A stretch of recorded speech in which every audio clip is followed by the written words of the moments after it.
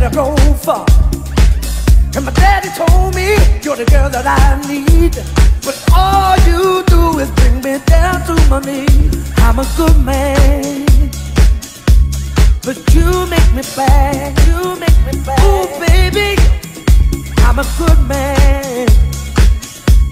But you make me bad. You make me bad. You make me bad. Bring out the devil in me. Loving has got me crazy. You bring out the devil in me. I sold my soul to be with you, baby. You bring out the devil in me. Girl, your loving has got me crazy. You bring out the devil in me. I sold my soul to be with you, baby.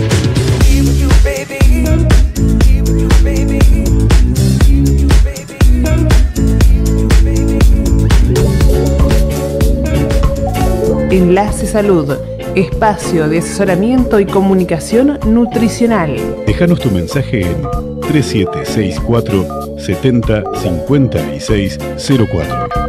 Radio Mix.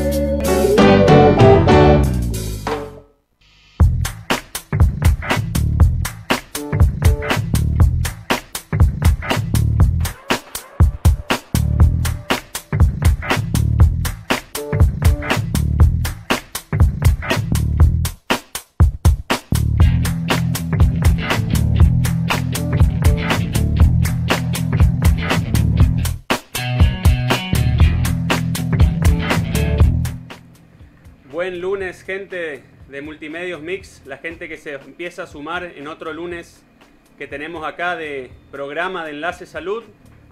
La verdad que en un día muy especial, Día de la Amistad en el mundo. Así que un saludo grande a todos mis amigos, a la gente que se suma a la radio. Agradecer, a, por supuesto, como siempre, a Multimedios Mix, a la gente, a las autoridades de acá por el espacio.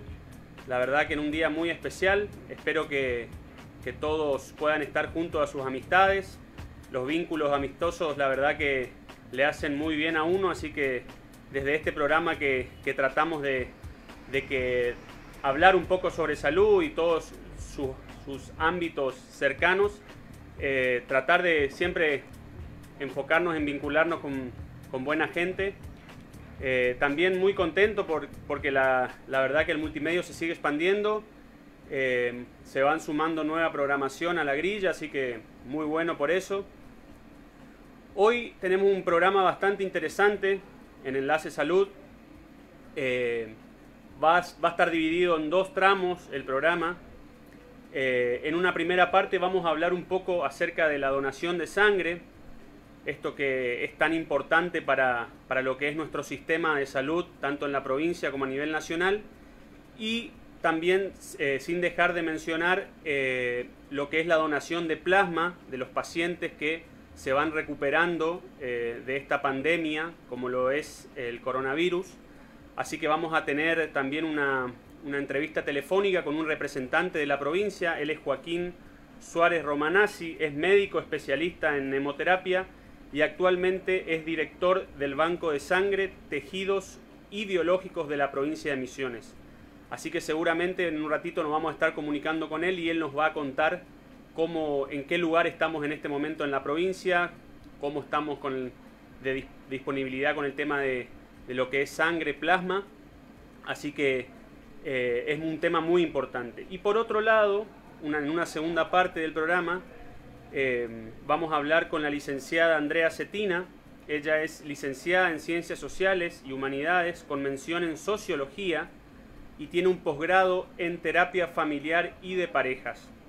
Vamos a hablar un poco acerca de cómo afectó esta, este confinamiento, esta pandemia, a lo que fueran las relaciones interpersonales familiares con la pareja, cómo vamos manejando el duelo con respecto a los a las personas que por ahí dejan de, de, estar junto a nosotros, que fallecen, y cómo afectó también el hecho de que al no poder compartir eh, esos momentos eh, en el cual una persona fallece, cómo afectó esto a la familia y a las relaciones interpersonales, no poder despedirse de sus seres queridos. eh, por esto de no poder juntarse por, el, por esta pandemia. Así que tenemos un programa bastante interesante por delante.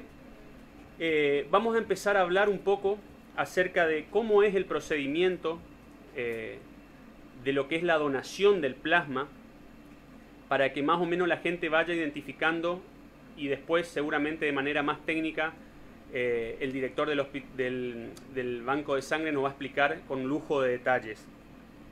El procedimiento de la donación de plasma es un, proceso, un procedimiento que se realiza con un equipo de plasmaféresis que que esto lo que hace extrae mililitros de plasma sin ningún otro componente, ni glóbulos rojos, ni glóbulos blancos, ni plaquetas.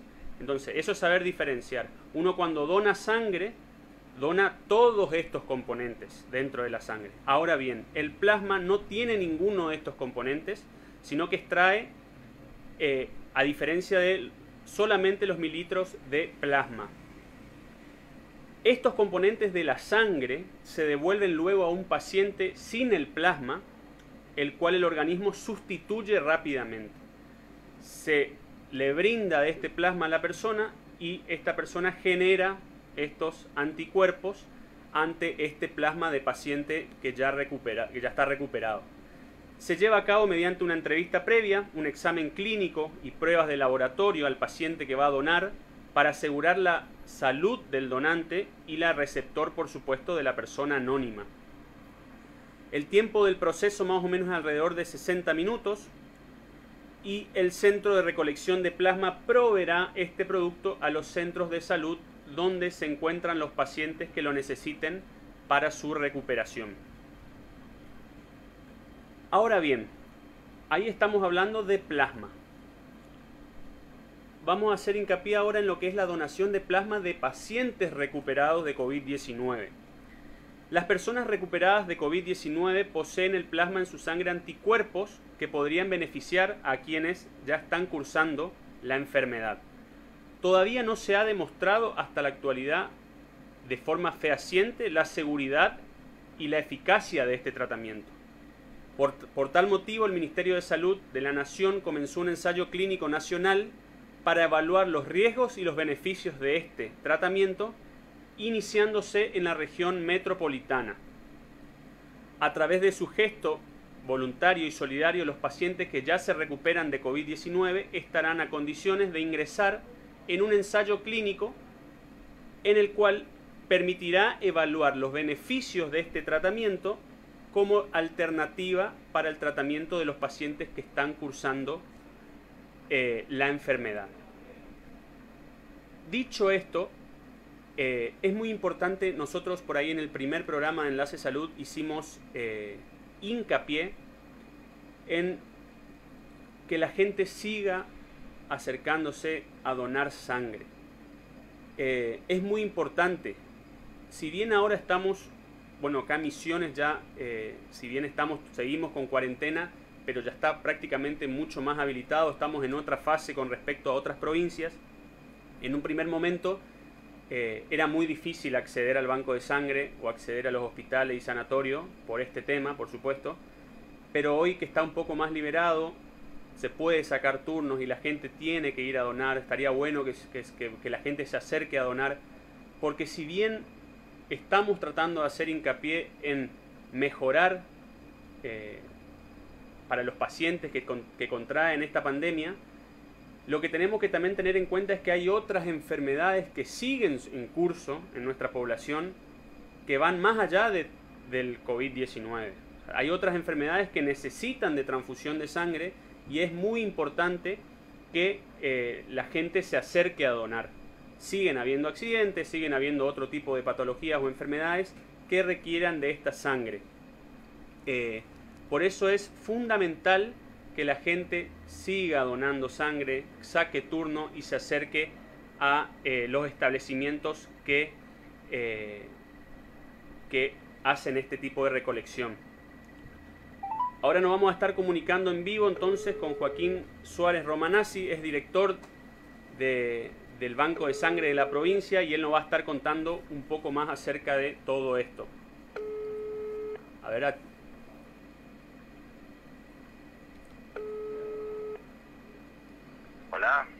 Hola Joaquín Suárez Romanazzi, te estamos llamando acá desde el programa de radio y canal digital Enlace Salud. La verdad que agradecerte que, nos atiendas y que nos des tu tiempo, un poco de tu tiempo para, para contarnos acerca de a qué te dedicas y, de qué un poco vamos a hablar. Estábamos hablando un poco de lo que es eh, la donación de sangre, por otro lado la donación de plasma y la donación de plasma de pacientes ya recuperados de COVID-19. Hola, buenas tardes, buenas noches, eh, gracias por llamar.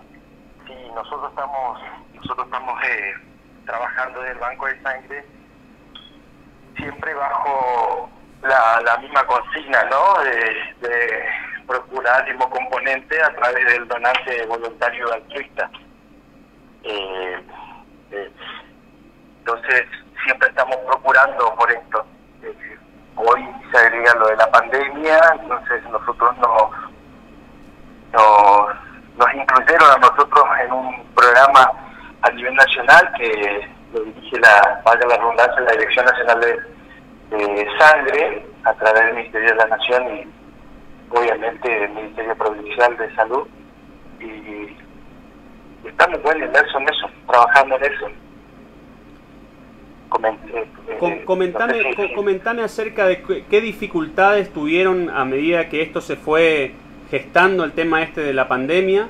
¿Qué dificultades tuvieron? Porque por ahí trataba de comentar acerca de que la gente eh, ya no pudo acercarse de la misma manera a donar sangre. seguramente los, los que donan sangre voluntariamente, seguramente se complicó muchísimo porque eh, hay, como aclaré, eh, hay muchas enfermedades que van a seguir requiriendo de, sangre. Eh, no es solamente, como ahora se, por ahí lo que más se está nombrando es por ahí la donación de plasma, pero, pero ¿qué, ¿qué cosas le, le, perjudicó este tema de la pandemia? No, primero nos perjudicó a todos con que tuvimos que salir a reescribir protocolos, hubieron restricciones a la circulación, lo que imposibilitó la llegada del donante de sangre a, las diferentes postas que tenemos de extracción. Por suerte tuvimos el apoyo de, su Secretaría de Salud y Ministerio de Salud, junto con el doctor profesor el doctor Alarcón, que nos dijeron que, sigamos adelante con lo que es colecta. Eh, imagínense que fue en una enfermedad nueva, nos por suerte nos agarró bastante bastante preparado en el sentido de que se venía viendo lo que estaba pasando en otros lugares. Entonces, lo que hicimos fue escribir protocolos, seguir con nuestra campaña de, colecta de sangre a través de, la asignación de turnos de la gente, hicimos colectas externas, tenemos un grupo de promoción que viene trabajando muy bien hace mucho tiempo, entonces fue continuar con otra tarea y agregarle el condimento del COVID y de la turnera y, bueno, todos los protocolos que, aseguran que una persona eh, pueda tener eh, el, el, distanciamiento social, de evitar la aglomeración de gente. Eh, fue todo nuevo, por suerte pudimos, creo yo, sin, sin, sin ánimo de ser soberbio, de estar a la altura de la situación. Eh, y dar respuesta a todas estas patologías que vos decís, que eh, las, las enfermedades no esperan, no entienden de pandemia, no entienden de, restricciones y, los, los pacientes siguen teniendo requerimiento de sangre, de hemocomponente, porque eh, esto, esto sigue, siguen, hay patologías como por ejemplo eh, patologías tumorales, traumatismo, eh, partos, cirugías programadas, cirugías de urgencia, que, tienen requerimiento de sangre y nosotros no, no podemos quedar de brazos cruzados y, de hecho no lo hicimos, ¿no? Pero bueno, eh, tuvimos que...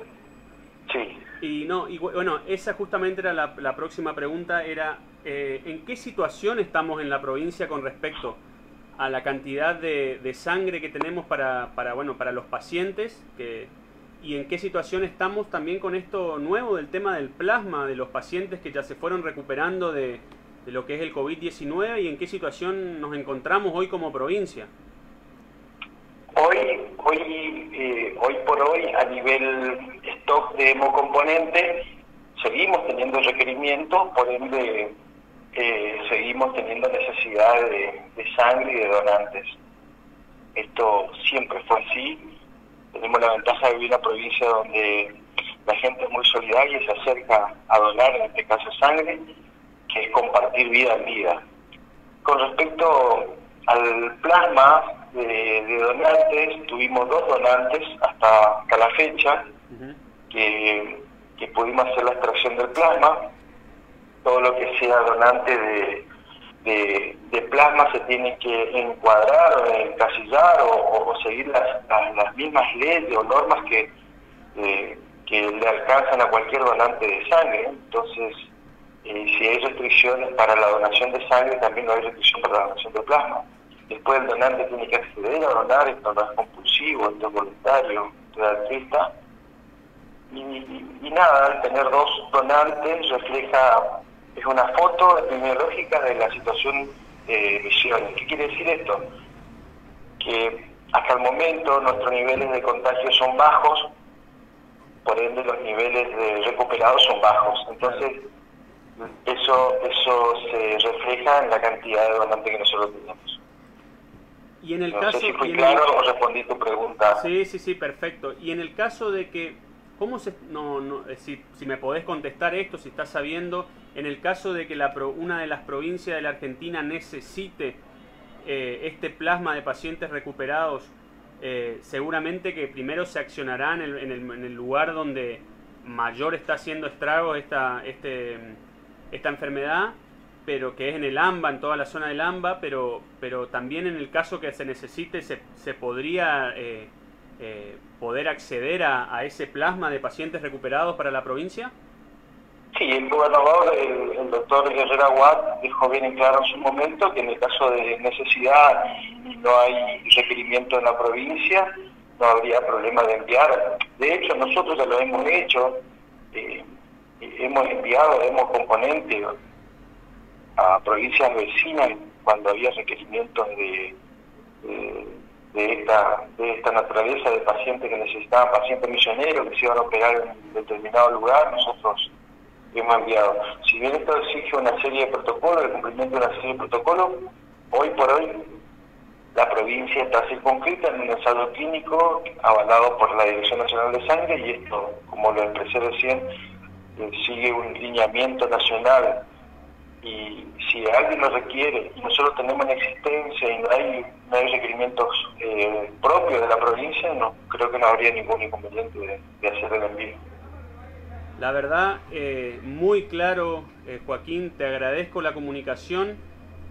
nuevamente hacer hincapié en lo que vos dijiste, de que la gente siga sacando turno y se acerque a donar sangre. La verdad que donar sangre, donar órganos y demás salva vidas, así que te vuelvo a agradecer por tu participación y bueno, ante cualquier cosa estamos acá a las órdenes para seguir haciendo difusión en esto que es tan importante para la salud de nuestra población.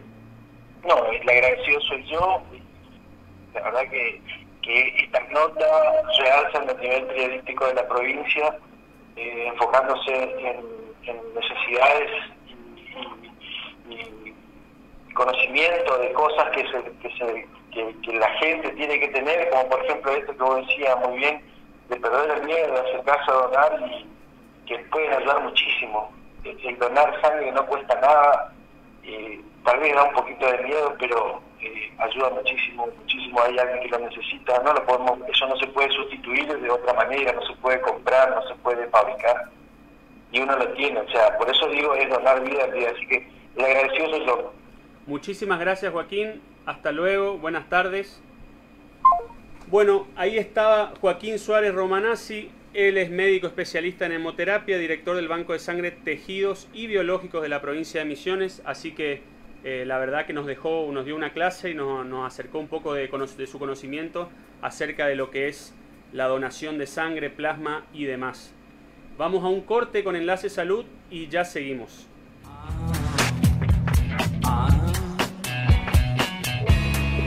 siempre soy, ya es parte de mi ser.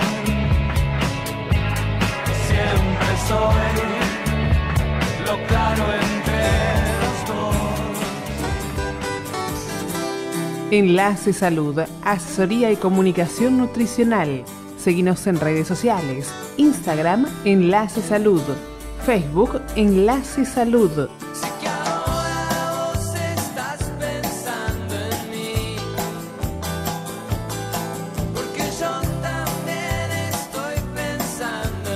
Enlace Salud.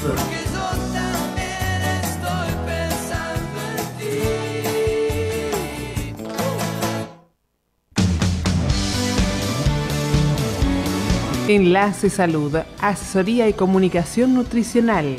Estamos en Félix de Azara, 1890, segundo piso A, teléfono 37 64 36 0906. Raíza Cultivos Hidropónicos. Una empresa familiar que brinda hortalizas con un máximo aporte nutricional, textura, inocuidad e higiene para cuidar su salud. Plantas con una mayor duración post cosecha. Encontranos en tu mercado de cercanía o en nuestras redes sociales. Raíza Hidroponía en Facebook y arroba Raíza Hidroponía en Instagram. Enlace Salud, asesoría y comunicación nutricional. Acércate, te ayudaremos a mejorar tus hábitos alimenticios y así poder prevenir enfermedades, siempre cuidando tu salud. Seguinos en redes sociales, Instagram Enlace Salud, Facebook Enlace Salud. Estamos en Félix de Azara 1890, segundo piso A, teléfono 37 64 36 0906. Enlace Salud, espacio de asesoramiento y comunicación nutricional. Enlace Salud, espacio de asesoramiento y comunicación nutricional. Déjanos tu mensaje en 3764 70 56 04.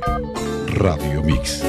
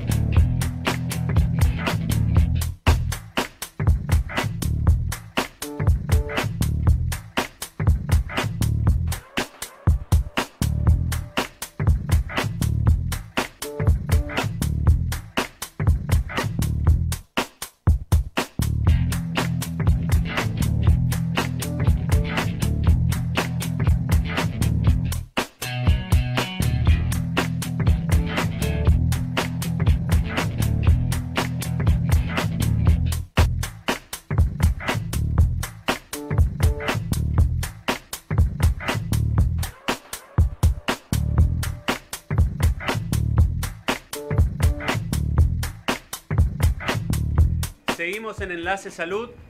Acá estamos ante la participación de Andrea Cetina. Ella es licenciada en Ciencias Sociales y Humanidades con una mención en Sociología y tiene un posgrado en Terapia Familiar y de Parejas. En primer lugar, agradecerte que estés acá, Andrea. Gracias la a verdad vos. que es un placer que hablar de estos temas que son también tan importantes. eh, si hablamos de un poco de lo que es el concepto de salud que da la Organización Mundial de Salud, esto es lo que es tanto el bienestar físico, psicosocial.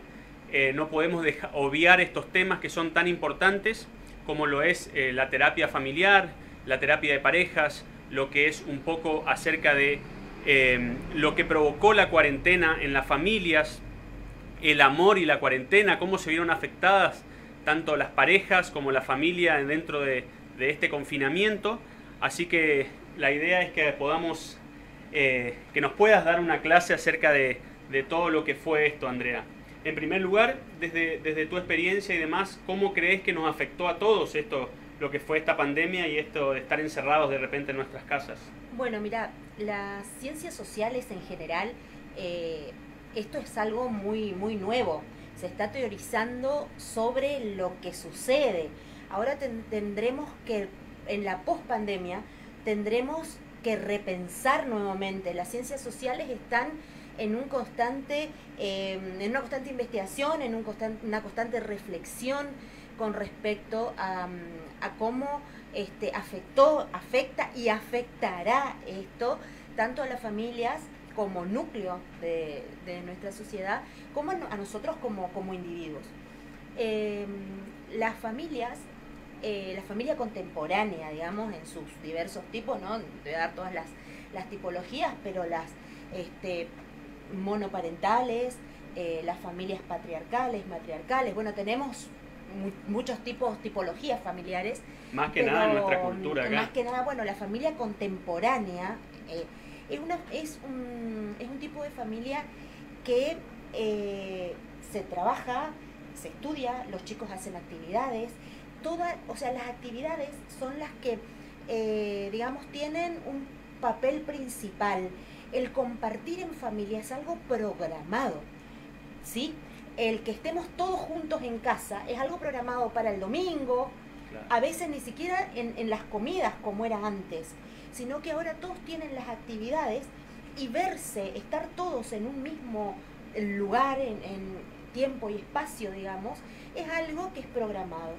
Por eso hablamos eh, de Seguramente tenés que estar el 100% para tus hijos y también tenés que seguir cumpliendo tus obligaciones laborales y demás.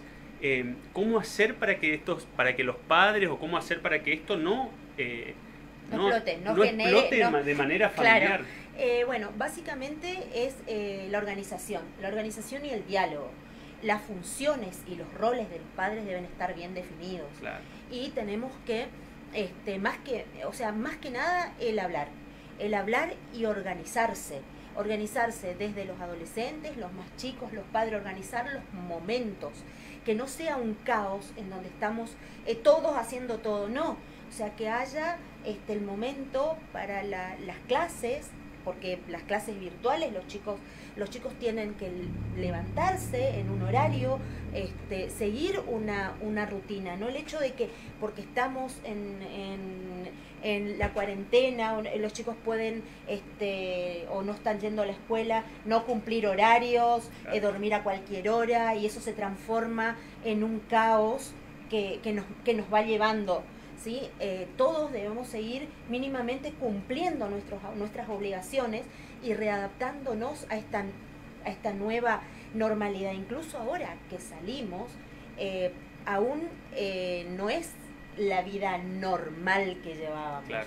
¿sí? ¿Y, y, y vos de tu lugar crees que va a volver a ser como antes o no? Yo creo que no. Yo creo que no va a volver a ser, no, no vamos a volver como antes. O sea, eh, esto ha provocado un cambio. No sé decirte, por eso empecé diciendo las ciencias sociales, eh, tanto los psicólogos, los psiquiatras, nosotros los, los sociólogos, eh, todos vamos a, a- a estudiar y a replantearnos y, y a ver nuevas, nuevas formas Claro, las hipótesis no van a ser claro, las mismas. las hipótesis no van a ser las mismas. Vamos a ir. Aparte, por ejemplo, yo hago eh, mucho hincapié en. Se habla, como estamos hablando nosotros, ¿no? De la familia tipo, la familia este, contemporánea. Pero no romantice, no, no hay que romantizar la, la, eh, la cuarentena. Por ejemplo, hay gente eh, en las villas, hay gente en los lugares donde que están eh, hacinados, donde hay casas con Claro, los 12 sectores más personas, vulnerables los, sectores vulnerables, por ejemplo, si nos ponemos a pensar los chicos, eh, hay chicos que sufren abuso, maltrato y no hay a dónde ir, Claro. ¿entendés? O sea, eh, los adolescentes en los barrios vulnerables donde las casas son muy pequeñas, están en la vereda, salen, iban a jugar a la pelota, no, ahora no se puede, recién ahora se están readaptando los tiempos, entonces tenemos que, que ver todos los aspectos. Claro, y ahora tocaste un tema que la verdad que es muy importante y, la verdad que se sigue haciendo hincapié y se trata de, de que poder modi- modificar esto que está pasando, que es el tema de la violencia. Se agudizó muchísimo la violencia, tanto eh, que ya venía pasando mucho con el tema de, de- hacia las mujeres, pero ahora de repente estamos encerrados. De repente la violencia se traslada a las parejas, pero también se traslada a los chicos. De repente estamos compartiendo un ambiente tóxico en el cual antes por ahí, bueno, sí, eran un par de gritos, unas discusiones, pero cada uno iba a hacer sus actividades.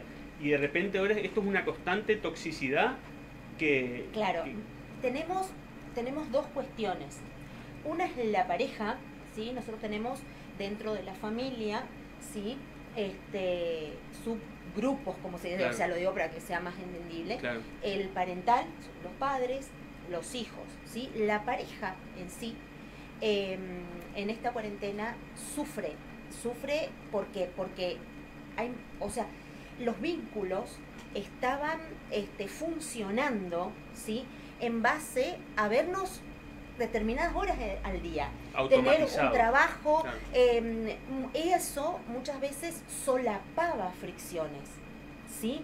Muchos matrimonios que ya se sabían este, con, Conflictos. con- con conflictos, con una inminente separación, los solapaban. ¿Qué pasa? Tampoco, y además también idealicemos, yo en la terapia de pareja lo veo, eh, o también eh, muchas veces en la terapia individual, este, no, acá no hay género, ni, Claro, no, claro. o sea, es el- la tercera persona en, en, eh, hace muchas veces a la familia, ¿sí? Claro. Y ahora, en- con la cuarentena, con el aislamiento que hubo, eh, esa tercera persona que muchas veces cumple un rol fundamental, ¿sí? No estaba, Claro. ¿entendés? ¿Y esa Em, tercera persona a quién te referís? Un amante, Claro. un amante. Hay, hay eh, tanto hombres como mujeres que tienen, eh, o sea, tienen una familia, eh, tienen sus hijos, una familia armada, pero tienen, este, tienen amantes. O sea, eso no, no, no hay que negar. Y, el, y mm, yo lo que, lo que he podido ver es que mm, el hecho de no tener ese escape, Claro. digamos, este, ha provocado eh, que las fricciones que estaban solapadas este, salgan a la luz. Este, hay muchos chistes al respecto con, de, lo- de los divorcios y cómo aumentó la tasa de divorcios este, en, este, en este tiempo en todos los países, pero lo sí, que, a las que, estadísticas, las estadísticas no, de- son abrumadoras. Pero yo lo, o sea, yo lo que quiero dejar en claro es que esta cuarentena eh, no ha traído algo nuevo a esa pareja. No es que la convivencia, o sea, no es que la cuarentena en sí generó ese, no, eso ya estaba. Claro. Sí, eh, o sea, eh, simplemente la convivencia diaria lo sacó a la luz. Claro. ¿entendés? Lo mismo que en, en todos los problemas en la familia. Esos problemas estaban, han salido. En, la- en lo que respecta ya a violencia, a violencia familiar, sí hablamos de mm, esa fricción, ese hombre violento, pero que a lo mejor hasta este momento no había llegado a mm, ya, o sea, a los golpes, por ejemplo, este, con todo este estrés que generó, sobre todo en lo, lo económico, en la falta de trabajo, muchísima gente ha quedado sin trabajo, eh, ha sido un detonante importante en la violencia contra la mujer y contra los niños. Por supuesto que no estamos justificando nada no con esto. por supuesto No. que no. Por eso vuelvo a hacer hincapié, son cosas que ya estaban. O sea, eso sí, hay Y hay también dejar en claro, casos- también dejar en claro por ahí que eh, no porque una persona esté pasando por una situación crítica de- a nivel Justifica- económico justifica, justifica claro, eso, simplemente que es una persona que ya, ya es violenta. claro. O sea, esto es un mal de esta época, es un mal contemporáneo. La violencia contra la mujer, ¿sí? Es uno de nuestros grandes males y con esto ha, ha aumentado a niveles, pero abismales. Incluso en, en Buenos Aires se han puesto más líneas para denuncias de violencia. Se, mm, bueno, se está haciendo lo humanamente posible, todos trabajamos, pero este, realmente el aumento ha sido eh, abrumador. Este, y no solo contra la mujer, sino también en la familia contra los niños. El hecho de, de- de esta, esta ansiedad, esta, no solamente eh, los padres, este, esto ha generado este, Es- violencia fue- dentro del núcleo familiar. Ha, ha aumentado mucho la tasa de violencia también, eh, porque yo por ahí noto, yo o sea, estoy cerca de los 30 años y desde mi generación noto que la violencia también con que los niños hoy Son tratados. eh, son tratados y cómo los niños hoy son viol- mucho más violentos. Eh, esto, esto tiene que ver también por ahí con, con esto, todo lo que es este bombardeo de información continua que tienen los chicos eh, y demás, pero la violencia con que hoy en día la juventud se maneja para arriba, sea, es la verdad que es increíble. Nosotros por ahí eh, fueron de público conocimiento los casos de, de lo que fue el, Fernández Sosa, de la gente que, eh, estos rugby que lo mataron a patada fuera de un boliche, o sea, eh, se- si bien esto, pero puede ser que la, la- cada vez como, como sociedad estemos más violentos. Sí, por supuesto, hay, hay un incremento de la violencia en la sociedad. Eh, no voy contra los medios, sí voy contra, este, si se quiere, este, la falta de, mm, yo creo, ¿no? Esto Sí, es sí, algo Que, que veo, digamos, y que trabajo mucho con las familias con las que trato, es que los padres tienen que apuntalar y sobre todo tienen que em, poner límites a los juegos, los juegos que los chicos en la computadora, el, ese incentivo de, mm, a la violencia y a la competencia, Claro. ¿sí? Es una sociedad en donde, mm, en donde se prioriza y se El éxito. premia el éxito. Los chicos no tienen, no hay lugar al fracaso. Claro. O sea, los chicos tienen una, una tolerancia muy pequeña al fracaso. Em, los padres no dicen no. Una, yo creo que todos dicen ser padres eh, es difícil. Yo creo que para muchos padres hoy no es difícil. ¿Por qué? Porque dicen a todo que sí. Lo más difícil en las funciones como padres es decir que no. Y es lo que los niños más necesitan. Y es lo que el adolescente necesita. El no, los límites. Y hoy no hay límites.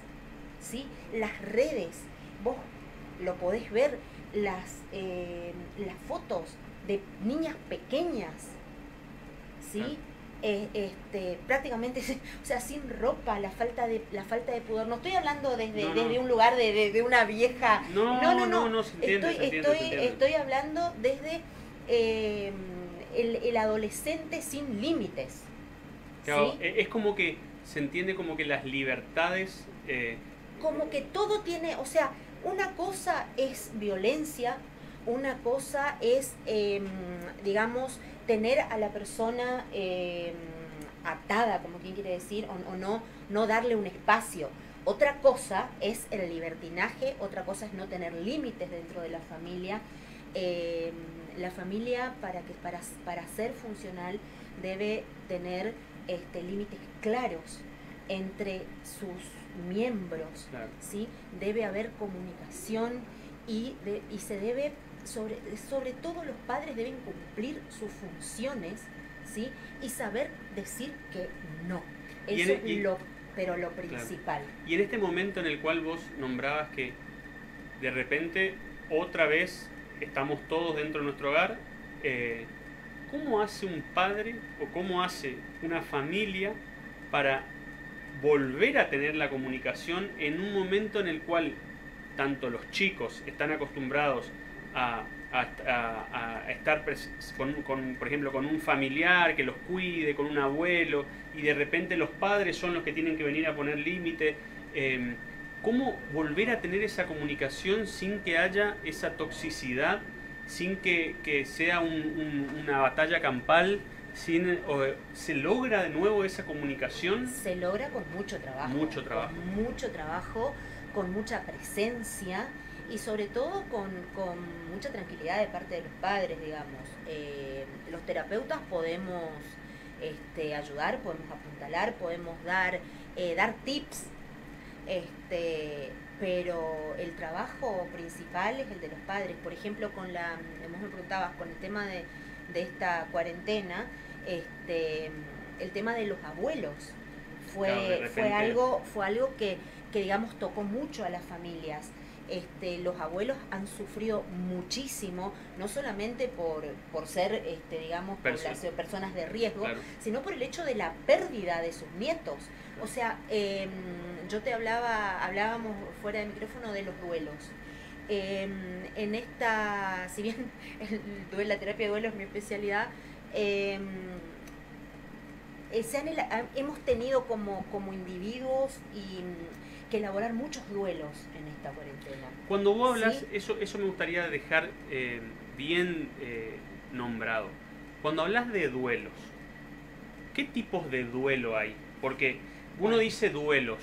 Yo a mí se me ocurre del duelo es el duelo hacia una pérdida de un familiar querido, un duelo hacia una, a una situación en el cual, bueno, uno se pelea con su pareja, pero ¿qué tipos de duelo tenemos? Los duelos Bueno. pueden ser positivos, pueden ser negativos. No, mira, el, el duelo es de por sí algo doloroso, es algo que nosotros transitamos por una pérdida, ¿sí? Pérdida en cualquier... Pérdida en cualquiera de sus formas, digamos, la, pérdidas que nos implique un dolor, que nos implique un sentimiento de pérdida y nos genere una ansiedad y una angustia. Claro. ¿sí? que nos genere emociones, no hay emociones negativas.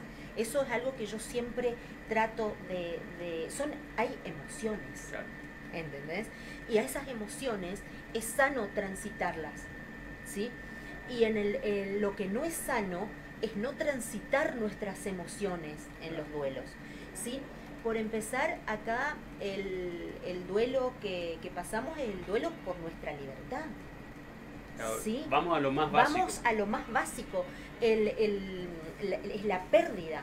¿sí? El duelo tiene que ver con la pérdida, la pérdida de nuestra libertad, la pérdida de nuestra libertad individual, de nuestra toma de decisión sobre nuestros tiempos, sobre, sobre nuestro trabajo.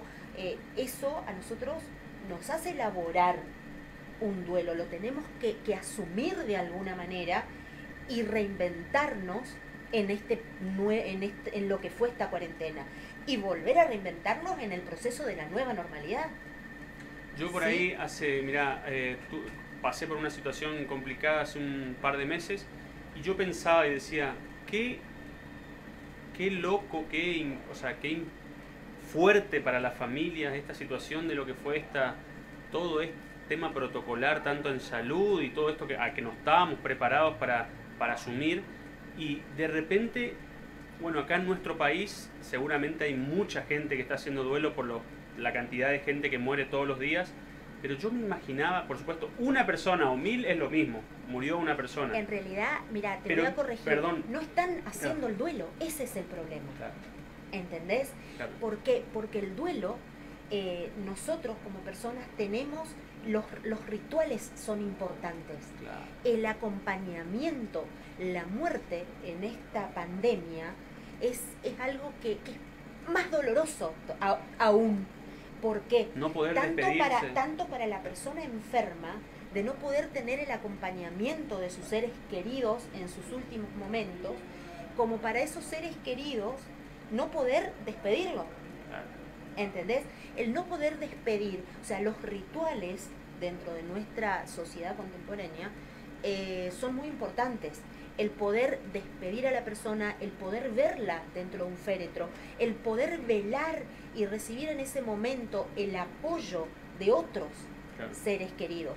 El, durante, el duelo tiene etapas, ¿sí? Que no son uno, dos, tres, o sea, a veces Claro. las personas leen, ¿sí? Y dicen, bueno, yo estoy pasando por tal etapa, uno, dos, tres por la segunda, ahora yo estoy en tristeza, no estoy en ira, Claro, no estoy en negación, no, no, no. Las etapas van y vienen, ¿sí? Van y vienen, hasta que en un tiempo determinado tienen más marcada, ¿sí? Un, un momento, hasta hacer lo que se llama resignación, ¿sí? El darse cuenta y poder seguir adelante, ya sea ante la pérdida de un ser querido, ante un divorcio, este, y ante, la, ante cualquier tipo de pérdida. Hay una palabra en la actualidad que se utiliza muchísimo, que es la palabra soltar. ¿Qué, qué es la palabra soltar? ¿Qué nos dice el soltar cuando hablamos de esto, Mira, un poco del duelo? de... yo, yo con respecto a la, soy muy cuidadosa con respecto a la palabra soltar. Eh, hoy por hoy, este, hay un, un auge, es más, yo, yo misma este, soy, me, me gustan las este, terapias holísticas, las respeto, me parece muy bueno y también hablo del soltar, pero no siempre es bueno soltar, porque no, no siempre tenemos que soltar todo. ¿Por qué todo? Si, ay, me molesta lo suelto.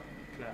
No, no, no es así. Soltar a veces O también sea, un poco es dejar de hacerse cargo de Eh, muchas cosas. Claro, claro, yo entonces, eh, como a mí me molesta tal cosa, bueno, yo lo suelto, ya no me hago cargo. No, no, no es así. Claro. O sea, soltar en el sentido de dejar ir al otro.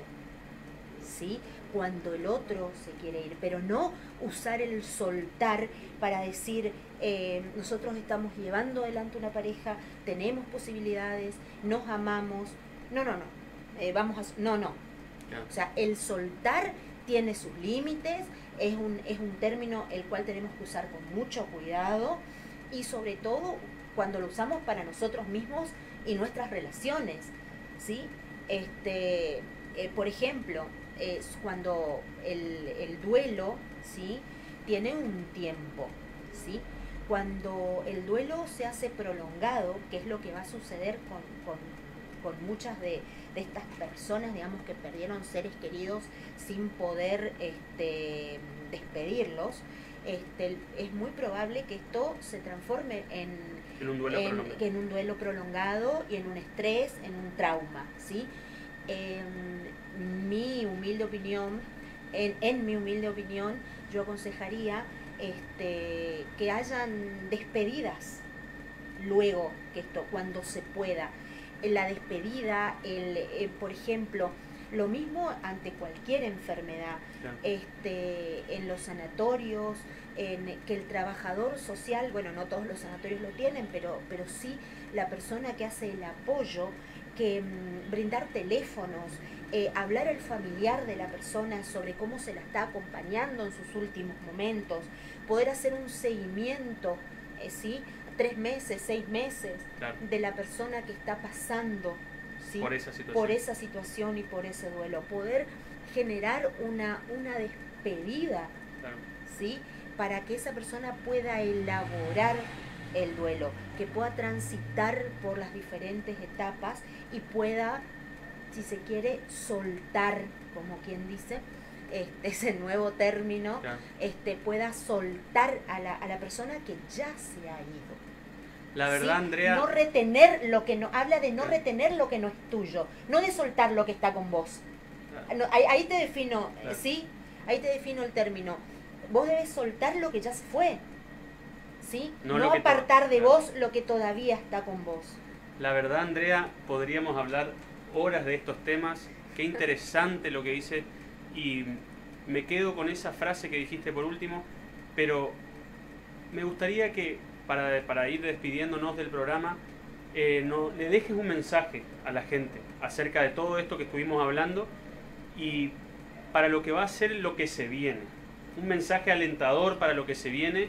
eh, eh, desde tu lugar, desde tu experiencia, eh, ¿qué, ¿qué le podrías decir a la gente de ahora en más? Bueno, mira, yo como te dije, yo creo que en las familias, hay muchas familias que han salido fortalecidas.